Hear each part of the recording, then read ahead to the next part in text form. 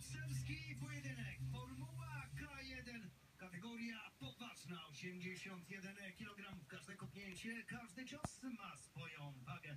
Słowagę zdecydowanie wyższą od zawodnika z Krępic Rogosz czerwone spodenki. Gutek niebieski. Tomasz Kut zdecydowanie bardziej doświadczony, jeżeli chodzi o starty amatorskie, te tytuły mistrza świata AK1 organizacji WK, WKTA. A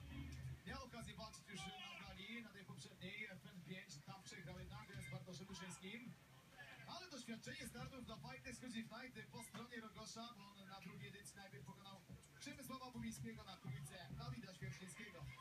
Do tego jest młodzieżowym mistrzem Polski w kickboxingu. Powiedzmy, że Tomasz Guty miał walkę o zawodowy pas mistrza świata organizacji WKA. To nie jest ta e, najbardziej poważna organizacja świata. Zobaczymy w ringu, bo jeżeli dwaj ludzie konfrontują się ze sobą, to wtedy oni najlepiej mogą ocenić siłę kopnięć, siłę ciosów. No i wiemy już, że Gut kopie mocno. Próbuje się dwa i teraz świetnie rozerwał całą tą akcję niskim kopnięciem.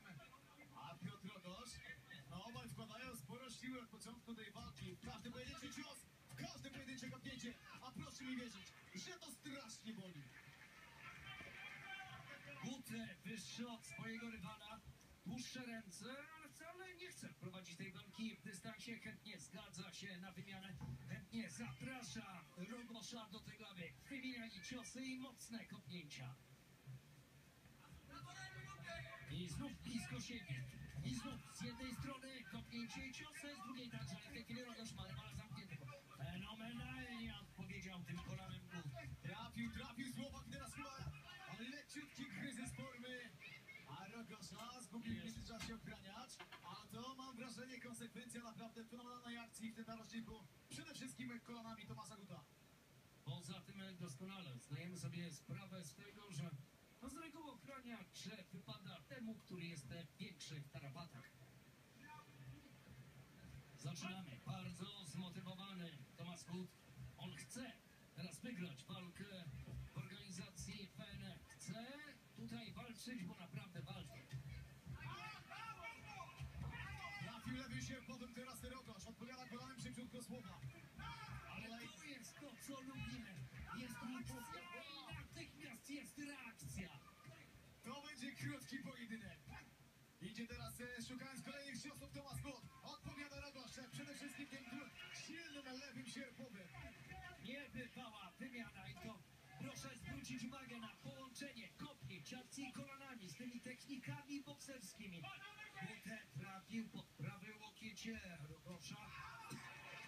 A złapał swojego rywala na przekroku. A Rogosz.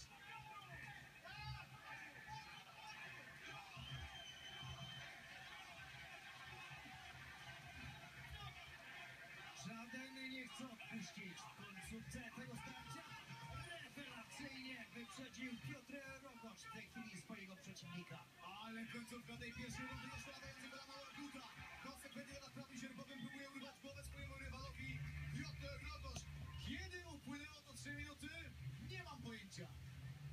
Szybciutko, ale tak to zwykle bywa, że jeżeli zawodnicy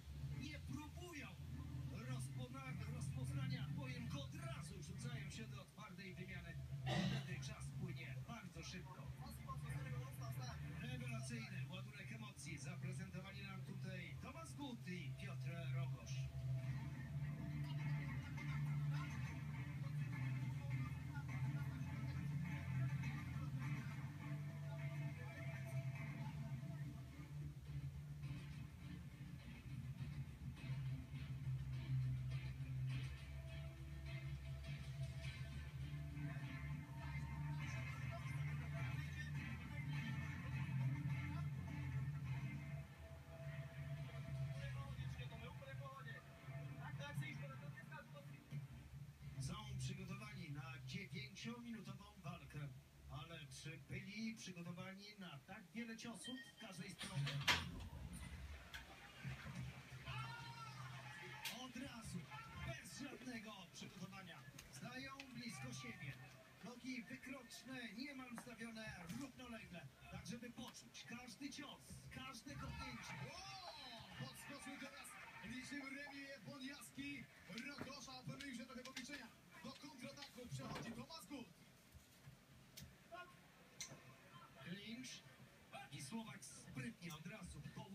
się na Polaku, aby stracił więcej sił, aby odczuł tę akcję.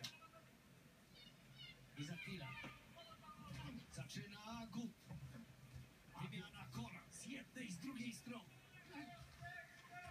Bez wątpienia stracili troszeczkę zdrowia w tej pierwszej rundzie, ale raz poślizgnął się Rogosz, nie ma mowy o tym, aby było tu jak tylko wykliczenie, ale coraz e, bliższy celu, aby trafić naprawdę bardzo mocno, przede wszystkim tym kolanem jest Tomasz Gut.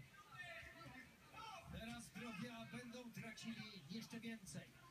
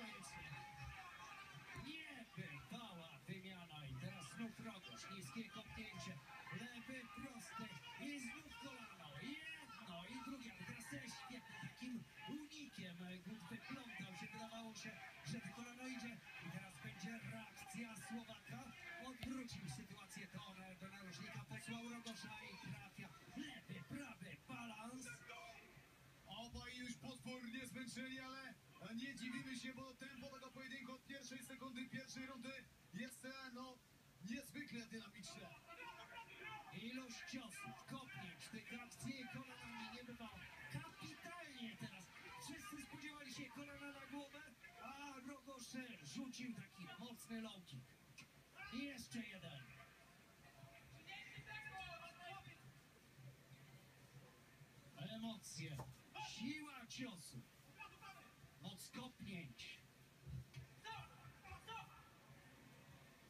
Kajszet drugi raz wyskoczył ochraniaczy z zębów Piotra Rogosza. To oczywiście oznaka już potwornego zmęczenia. Kilka cennych sekund można teraz ukraść i za chwilkę ruszyć z kopyta, aby zakończyć e, mocnym finiszem. Rundę drugą, tak właśnie. Ta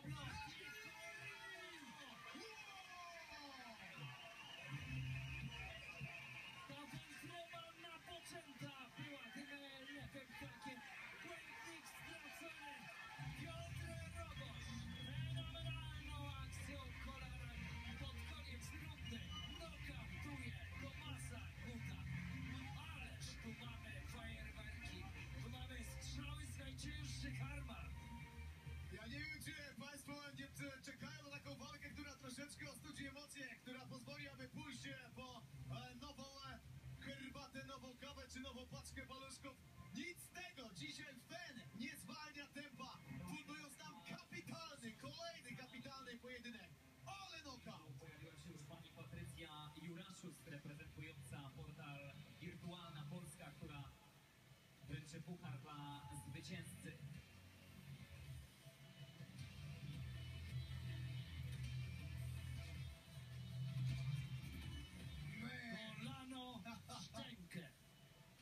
Naciągnięcie głowy.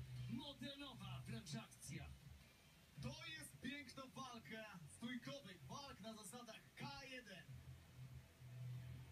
To jest również taka niebywała agresja i brutalność tych zawodników, którzy wychodzą, aby naprawdę wymierzać sobie ostre razy. Każdy z nich postawił tutaj na atak, nie na obronę, na agresję i atak. Ladies and gentlemen, the winner by KO is Red Corner, Piotr Rogosz! A mówią niektórzy, że do trzech razy sztuka. Fen 2 zwycięstwo, Fen 3 zwycięstwo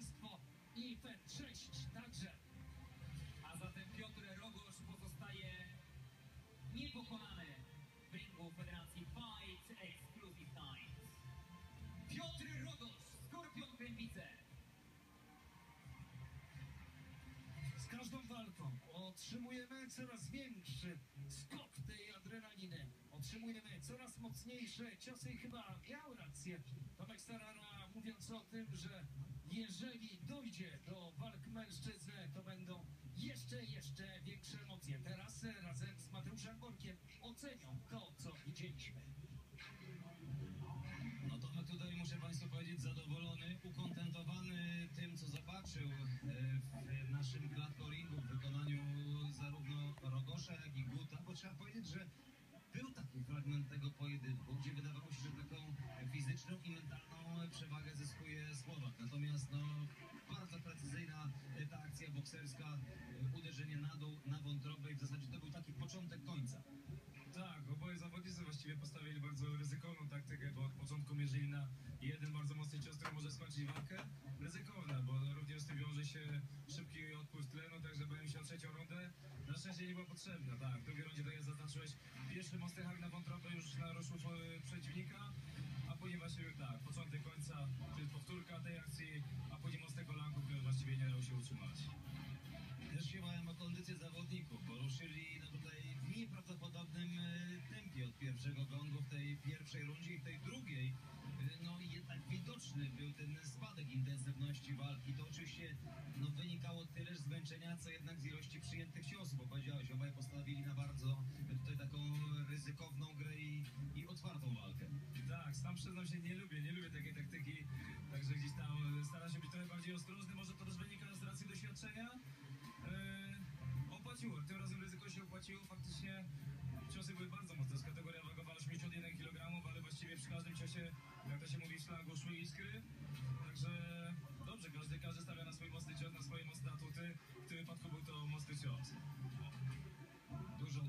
technik pięścia.